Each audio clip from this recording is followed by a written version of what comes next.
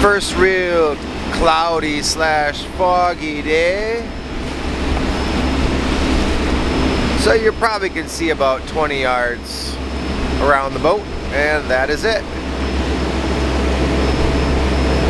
So we could lay out and there's actually someone right near us without us even knowing it, but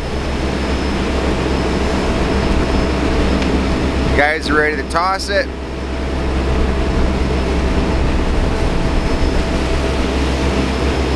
I'm so glad I brought my coat.